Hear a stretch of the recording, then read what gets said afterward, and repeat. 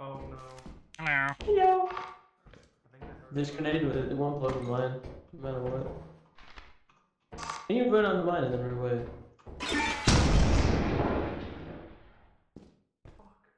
Right. Well, okay. I did. I did see Bracken.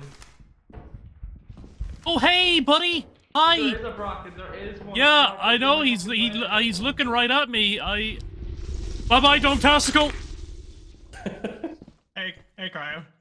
Oh shit, yeah, you're right. Um, oh shit. So you got well acquainted with a bracken. Yeah. I still don't really know what to do with them. Oh. Fuck off, you fucking asshole. You look at them once and then don't look at them. Yeah, you fuck them, I don't care. I'm sorry, stairs. No! Oh, that was rough. been- Oh, he's dead, yeah. Yeah, he got blackened. Oh, he's getting taken very far away. Oh, look at all that loot in there. Yeah. We lost a lot of So stuff. who's huh? alive?